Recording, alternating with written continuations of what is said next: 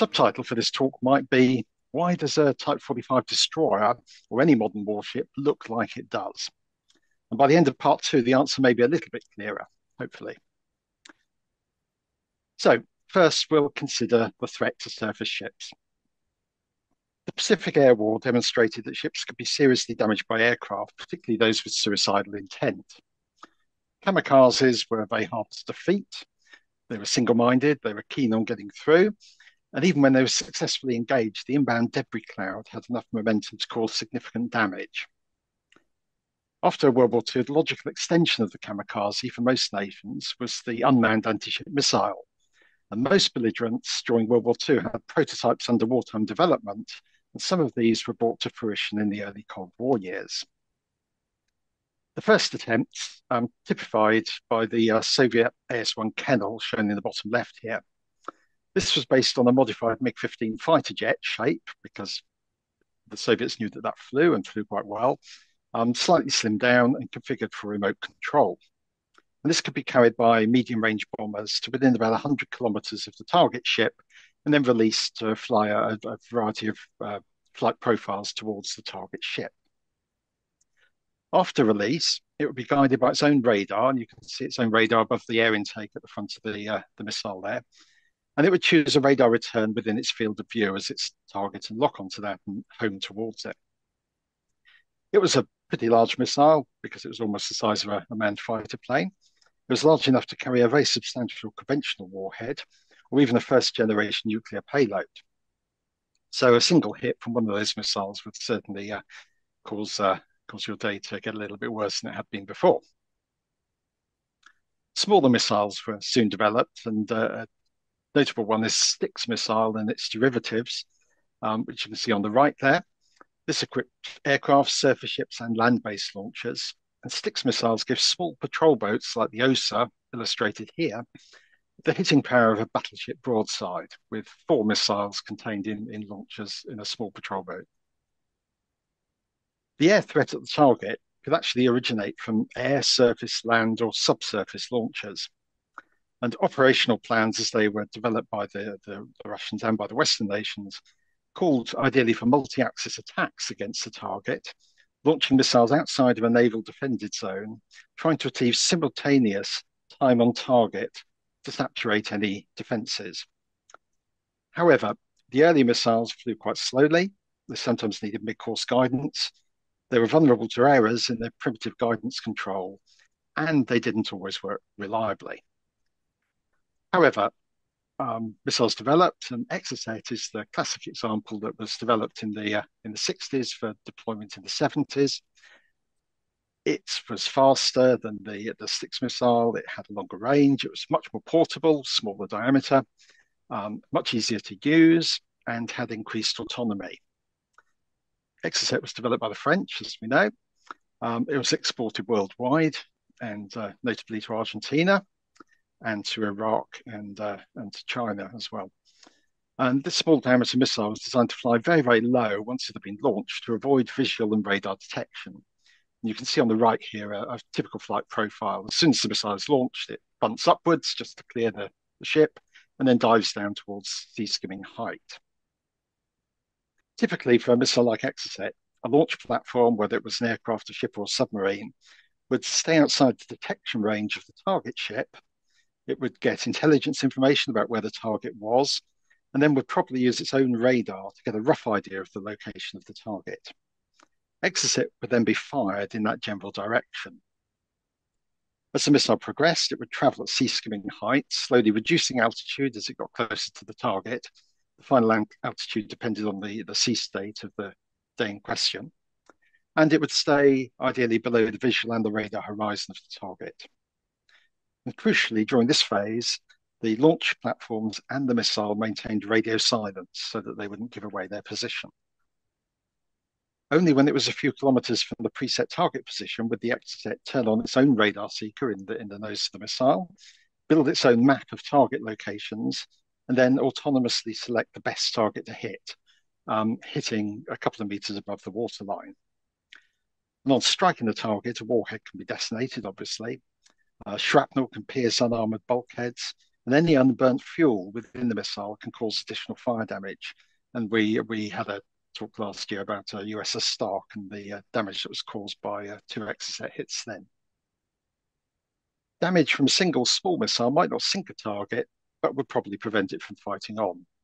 And we've got some impacts here of uh, UK warships, a county class destroyer on the left and a, a Type 22 frigate on the right, both hit in SINKEX, SINK exercises when they were, were surplus for use in the Royal Navy, and we used as targets. Um, both of these, I think, were uh, Harpoon rather than Exocet uh, missile impacts, but they're uh, illustrative of the sort of damage that can be done by a single missile. In plan view, um, a simple, very simple-minded missile might work by scanning perhaps left to right once it turns on its own radar and locking onto the first target that it sees. Uh, that would be a very, very basic logic that could uh, be managed with a few transistors in the in the seeker head. Possibly, if you put a little bit more logic into the seeker head, you could get it to search for the biggest target that was within its field of view and lock onto that, or maybe some other kind of um, logic which allowed it to um, select the target that you found um, most likely to be the target of interest. Ideally, you would as a, as a missile designer, want the missile to home on to the, the most valuable target, maybe a carrier or a transport ship. Really strong radar reflections come from physically large slabs of metal, like the size of a ship, or from right angled corners. So the largest ship in view, or maybe the one with the most clutter on deck, might be the one most likely to be targeted and hit. And target barges for radar guided missile trials, such as this one here, which is a, a Russian example, they're absolutely festooned with corner cubes. Uh, they're very familiar items for any modern yachtsman keen to make his vessel show up on radar because a, a triple flat plate corner cube like that gives a very, very strong re reflection back in the direction from which the radar signals come. And by and large, warships until the mid 70s really didn't pay an awful lot of attention to um, radar cross section and the, the, the hygiene of the, the, the deck clutter.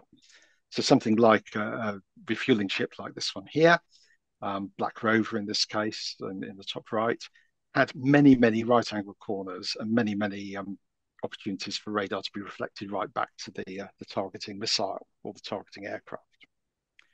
Clearly, you don't want your high value logistics unit or your carriers to be, be targeted.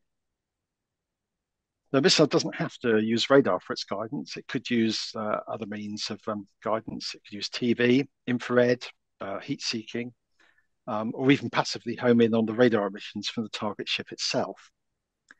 And cunning missile designers might even build multiple means of guidance. So if you had a, a missile which had the ability to use a radar and an infrared seeker, it would complicate the defenses uh, in trying to overcome the, uh, the logic of that seeker head. And even more threatening are supersonic missiles, and those with some form of cooperative mode of attack, where you may have a swarm of missiles working together to try and uh, uh, attack a, a target or a task group. So modern anti-ship missiles pose a very serious threat to even the largest warships. Manned aircraft are also a threat, but generally pilots would um, prefer to engage with standoff weapons such as missiles so they don't have to close on a defended target. However, missiles are very expensive, and cheap drones launched from land or small boats might now be employed with significant effect. And if hundreds of drones can be coordinated to produce a light show, such as the, the one over Southsea when we had the uh, D Day celebrations last year, um, just think what a, a, coordinated set of drones could do when swarming a, a modern warship. Um, each individual one might be very small with a small, um, small explosive charge on it, but if they're coordinated together in an intelligent manner, that can uh, form a very, very significant threat to a warship, especially near coastlines where control of drone swarms might be easier. And we'll talk a little bit more about drones next, next uh, uh, in the next presentation. So, so much for the threat. How does a warship go about detecting and identifying a credible threat? If we look at any warship over the last 70 years, we'll usually see a vast collection of antennas dotted around the superstructure and the masts. Given the attack profile of a typical missile that we saw earlier, then passive listening to the electromagnetic spectrum can warn when hostile radio or radar is first being used. So in our early example, for example, if the aircraft and the ship um, starting to make an attack were receiving communications from from a, a land base that could be intercepted and hopefully uh, decoded and understood, or maybe their own radar emissions could be detected by by the warship. This capability is termed electronic support measures. It's part of electronic warfare. And ESM antennas can be spotted uh, very easily on warships. Uh, generally, just look for repeated items giving a 360 degree coverage. And if you look at the uh, Type 23 frigates on the right there, you can see the, the sort of spiky array just below the, the main radar at the top of the mast there. So that spiky array is an array of um, radar receivers, which allow you to detect radars emitted from aircraft or ships um, from a, a significant distance away. And there's obviously an array of them to give a, a full azimuthal uh, coverage. And they're different sizes depending on the uh, frequency of radar being detected. With the right lookup library, once you've detected those, those um, potentially hostile radar signals, it is possible to determine the type of radar being seen and what it is doing. So, for example, you can determine whether an aircraft radar is um, just generally searching or navigating, or whether it's actually pointing at you and locking onto you and trying to uh, target you as a as a threat. But you need intelligence in order to understand that sort of behaviour. And uh, spend a lot of effort trying to understand um, the electromagnetic spectrum and the kind of signals they might see in a, in a potentially hostile environment in order to prepare themselves for battle in the future should hostilities commence. However, intercepting uh, radar and radio signals only gives you bearing, it doesn't give you range. It can tell you that uh, a threat is maybe over to the west, but it can't tell you whether it's 30 miles away or 100 miles away. Another sensor on board is clearly radar. Uh, radars can detect targets and plot their positions over time. Um, it can't directly yield identity, but can provide a track sufficiently um, robust enough to determine threatening behavior. So, for example, it can determine whether a, an aircraft is turning towards and heading towards you as a as a, a, potentially threatening gesture, or whether it's turning away and is is maybe a benign benign air target. Radars can also guide defensive measures such as anti-ship missiles, uh, anti-air missiles, or gun systems.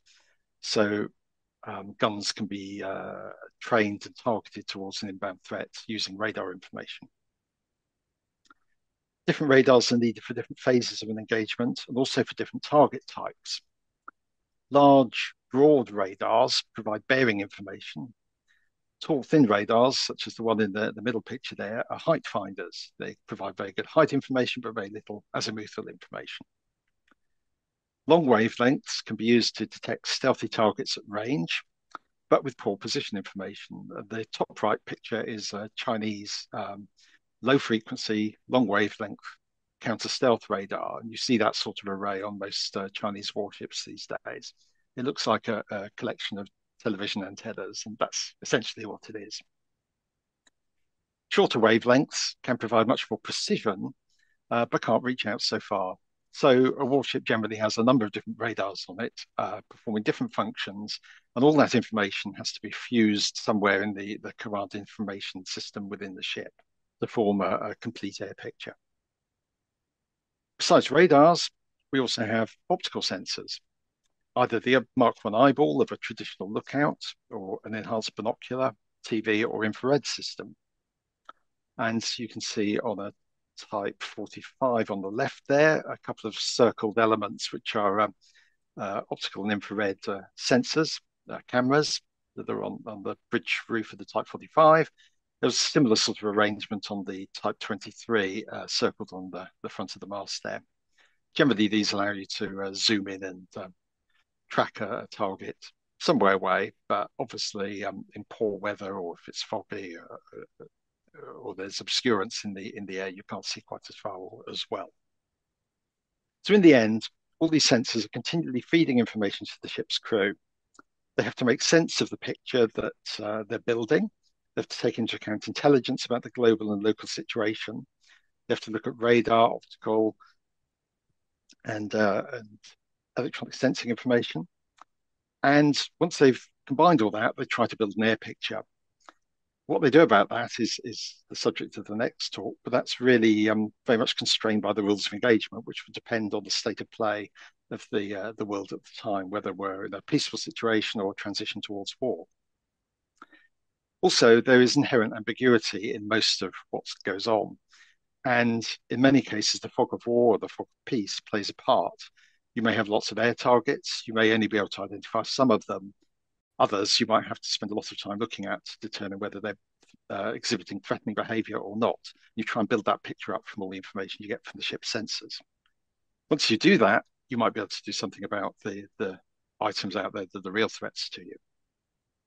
So to conclude the talk for this week, if we have a look at Type 45 destroyer, the model here, we begin to see why some of the elements of the Type 45 destroyer are, are shaped as they are and the way they're placed as they are.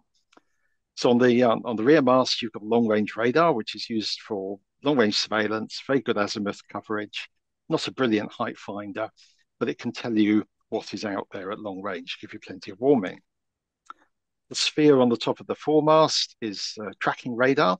So if the long range radar detects something which might be of interest or might be a threat, you can use that to cue the tracking radar to uh, interrogate it more deeply and, uh, and track it more precisely in case you need to engage it.